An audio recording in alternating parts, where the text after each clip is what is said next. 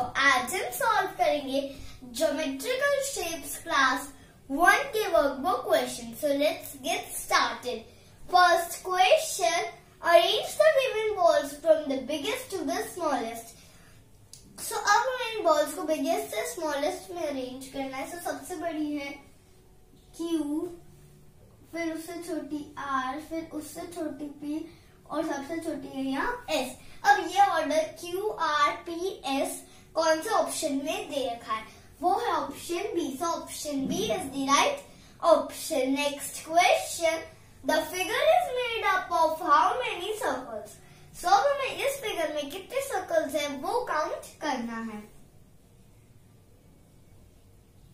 one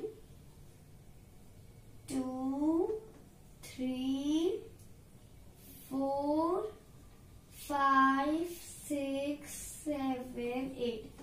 Totally eight circles है इस figure में। So option B it is the right option next question which shapes make this make up this are so अब हमें इस type के question में क्या करना होता है?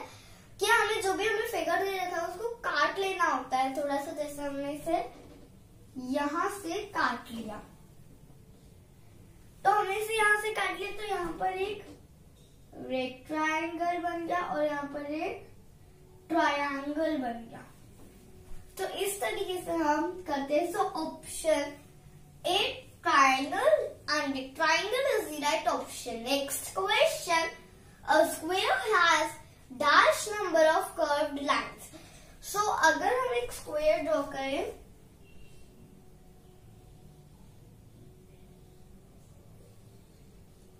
सो so, हमारा जो स्क्वायर होता है वो सिर्फ़ स्ट्रेट लाइन से बनता है उसमें एक भी कर्व लाइन नहीं होती so option D zero is the right option next question the classroom board show in the figure is use by teachers to write the shape of board is so ये जो uh, है ये rectangular shape और ये जो board है जिसपे मैं आपको समझा रही हूँ आप इसे देख सकते हैं ये पूरा।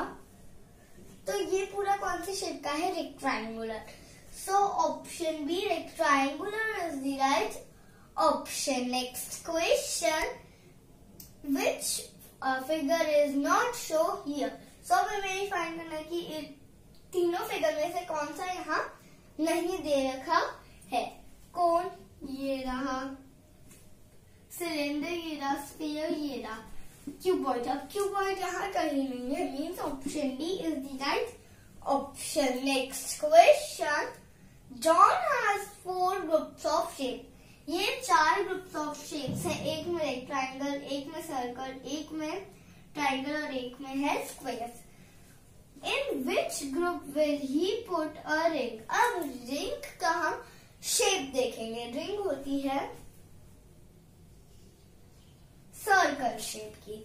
अब ऐसा कौन सा ग्रुप है जिसमें सर्कल दे रखा है? वो है क्यू वाला। So option B Q is the right option next question there are dash more circles than the triangles सबसे पहले हम काउंट करेंगे कितने सर्कल्स और कितने ट्राइंगल्स सर्कल्स थ्री है और ये फोर फोर है सर्कल्स उसके बाद ट्राइंगल्स है। वन टू थ्री फोर अब फोर माइनस फोर करेंगे ज़ीरो क्योंकि हमने मोर पूछा है सो so, इसका option D zero next question the name the shaded part is dash तो अब ये जो शेडेड पार्ट है, ये है ये। और ये हमें क्या दिख रहा है एक? एक सर्कल है ये। So option C is the right option circle ये एक सर्कल है shaded next question circle can be trace using dash so circle इससे नहीं और इससे नहीं बन सकता। अब इन दोनों से बन सकता है बट दोनों ऑप्शन तो करेक्ट नहीं होंगे। तो अब हम यहाँ पर देखते हैं तो यहाँ पर इसमें कुछ थोड़ा ऊपर नीचे हो रहा है तो इससे बिल्कुल फाइन सर्कल नहीं बनेगा, वो बनेगा सिलेंडर से option C is the right option so friends ये था मेरा जोमेट्रिकल शेप्स का क्लास वन के वर्कबुक क्वेश्चन थी पार्ट वन वीडियो था। पार्ट टू वीडियो जल्दी मेरे चैनल पर आ जाएगा। So friends please like this video share this video with your friends subscribe my channel Shivi red studio press the bell icon to get notifications of my new videos.